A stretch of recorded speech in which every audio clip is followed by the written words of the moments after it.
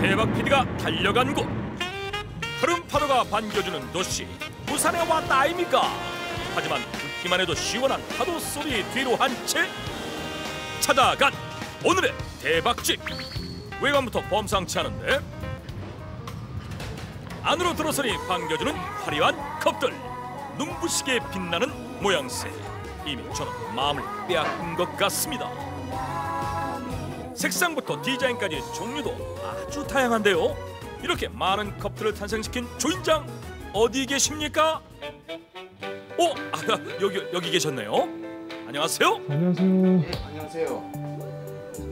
손끝에서 예술을 만들어내는 박지훈 대박 주인장 화려하고 독특한 디자인들이 많던데 다 직접 만드신 건가요? 네, 저기 앞에 지금 전시되어 있는 아이들은 다 제가 만드는 잔들이라고 보시면.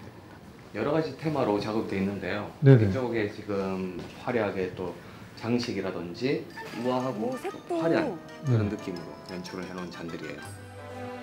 조명빛을 받아 더욱 화려함이 돋보이는 디자인 이거 어디 아까워서 쓰겠나요? 얘들은 지금 여기 보이시는 손잡이 우와. 부분들이 네네. 다 별자리를 제가 이미지화 시켜서 정갈의 이미지에 여기에 정갈 꼬리가 아 정갈이에요. 포인트를 잡아놓은 우와. 독특한 콘셉트를 가진 잔들도 있습니다. 다양함이 가득한 주인장의 작품들 누구나 좋아할 법한데요. 파스텔 계열의 색상에 화려함이 더해진 이곳의 커피 잔들도 시선을 끕니다.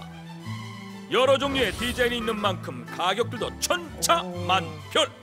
작품을 만들어낸 주인장의 노력은 값을 매길 수 없겠지만 비싸다.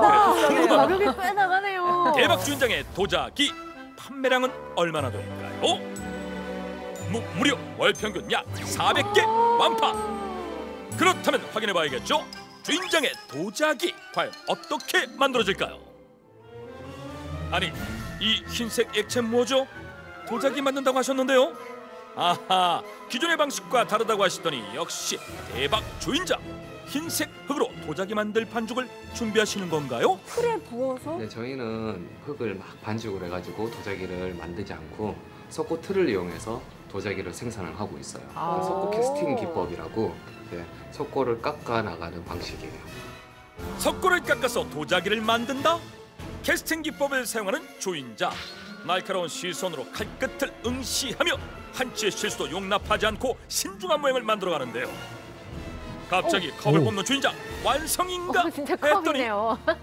아직 끝이 아닙니다 본격적으로 조각이다. 디자인 응. 입히기 시작 이야. 아니 도자기 만든다 하시더니 이렇게 컵이 완성되는 건가요? 어, 선이 너무 이쁘네요. 여기서 이제 어, 석고 원형을 만든 거고요. 이제 우리가 이걸 도자기화 시키기 위해서는 이 원형을 이용해 가지고 또 틀을 만들어 줘야 돼요. 틀이요? 예, 석고 몰드라고 부르는 그 틀을 만들어 줘야 어, 컵이 도자기로 탄생을